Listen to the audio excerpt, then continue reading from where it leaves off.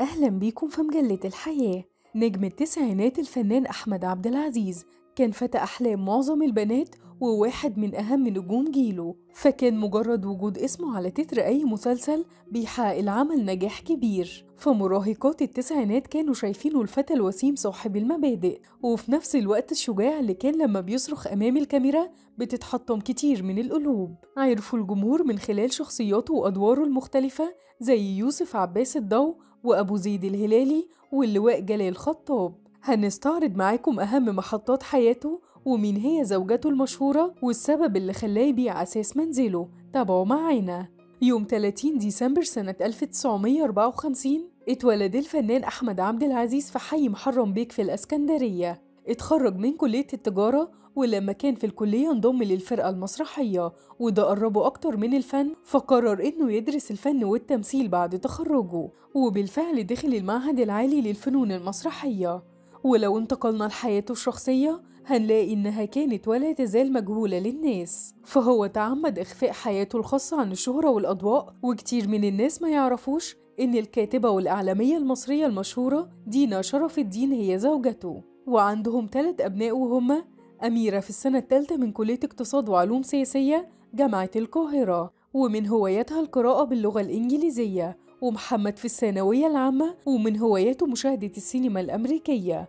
أما آخر أبنائه هو يوسف في الصف الرابع الابتدائي ومن هواياته الشعر والرسم والسباحة وكمان الكرة حكت دينا زوجته في مداخلة هاتفية مع عمرو الليثي عن شدة تعلق زوجها أحمد بأولاده وبيها وكمان إنها اتعودت على طبيعة عمله وهي سعيدة جدا بنجاحه. وفي فترة من حياته تعرض لوعكة صحية شديدة وقتها حس بألم شديد في صدره وبعد نقله للمستشفى تأكد من وجود أحد الشرايين مسدودة وتم تركيب دعامة واتحجز لمدة يومين وبعدها اتحسنت صحته.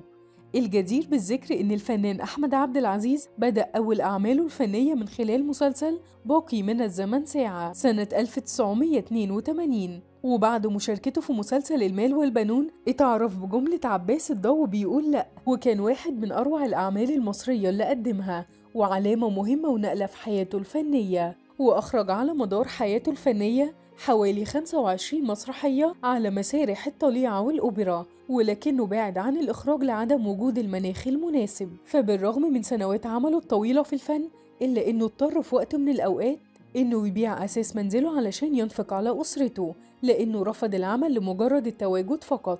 واختفى عن الشاشة لسنوات بسبب عدم وجود أعمال فنية ترتقي لمستواه. علشان كده فكر في اعتزال الفن لفترة معينة. وصرح إنه بيتمنى العودة للعمل مع الفنان يحيى الفخراني في الفترة المقبلة زي ما تعاون معاه في بدايته الفنية. وإن أهم المحطات الفنية الفخور بالمشاركة فيها هم الوصية المال والبنون سوق العصر ذئاب الجبل ومين ما يحبش فاطمة. بكده نكون وصلنا معاكم لنهاية الفيديو. اكتبوا لنا في التعليقات وقولوا لنا أكتر عمل بتحبوه للفنان أحمد عبد العزيز. واستنونا في فيديو جديد وفنان جديد مع مجلة الحياة.